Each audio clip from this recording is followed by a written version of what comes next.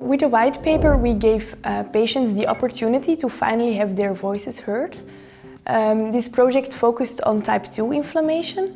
Asthma, CRS with nasal polyps and atopic dermatitis are chronic and disabling diseases with a common underlying disease mechanism called type 2 inflammation.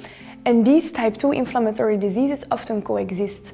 So what we've done is by conducting one-to-one -one interviews with patients with asthma, uh, with nasal polyps and atopic dermatitis all over uh, Europe. We explored the impact that these diseases um, had on the patient's uh, qualities of life.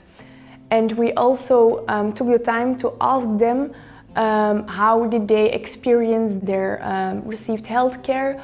Uh, we asked them what are your ideas um, about the current shortcomings or limitations of care and how can we um, improve these healthcare in, in the future.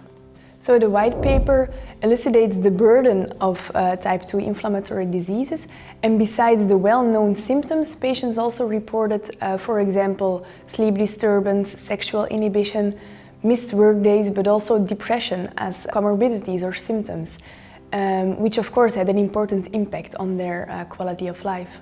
The white paper um, also clearly document that in fact these patients uh, with asthma, um, CRS with nasal polyps and atopic dermatitis, in fact they um, have the same unmet needs.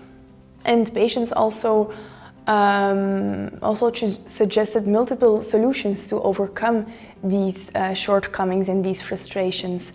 First of all, patients mentioned the need um, of a reorganization of current healthcare because to date asthma, CRS with nasal polyps and atopic dermatitis are um, often treated as separate entities um, and patients also reported that um, oftentimes physicians focused on one um, part of their body with um, overlooking of the other comorbidities and their mental well-being.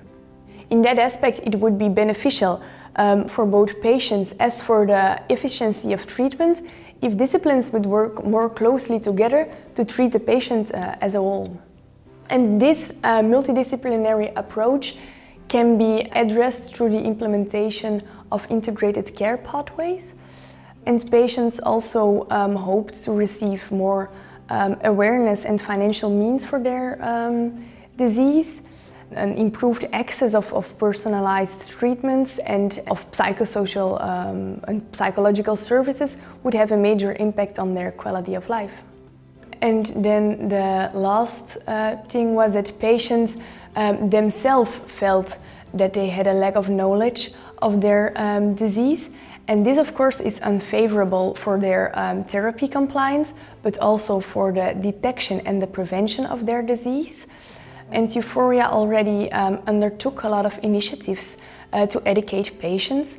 We have a reliable website with some very uh, reliable information and we're currently also developing some other patient materials to empower patients to uh, participate in, um, their, in the treatment decisions.